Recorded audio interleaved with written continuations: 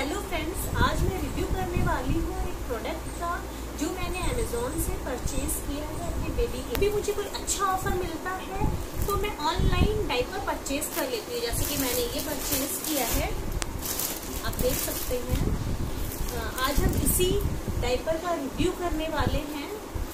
Many Poco pants के ये standard है। इसमें दो आते हैं, एक स्टैंडर्ड आता है और एक होता है एक्स्ट्रा एब्जॉर्ब ये टेन आवर्स के लिए होता है और वो ट्वेल्व आवर्स के लिए होता है।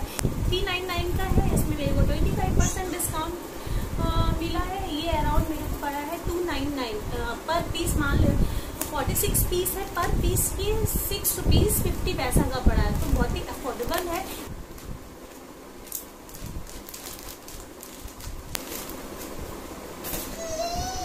ये डाइपर है।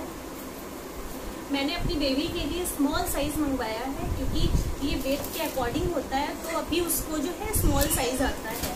काफ़ी अच्छी है और इधर भी लेग गैप भी काफ़ी है। देख सकते हैं आप। ये कॉटन है, काफ़ी सॉफ्ट कॉटन है।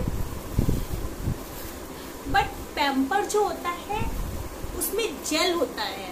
ये सिंपल कॉटन का है।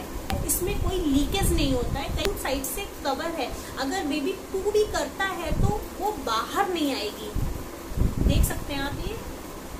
तो टू साइड मुझे मैनी कोको पैंट अच्छा लगता है। जब भी आप डाइपर खरीदे, इन चीज़ों का ज़रूर आप ध्यान रखिए क्वालिटी डाइपर का मेटीरियल डाइपर का प्राइस क्या है डाइपर कितना एब्जॉर्ब करता है। तो जब मैंने इन चारों चीज़ों को पैम्पर्स और मैनी कोको पैंट में कंपेयर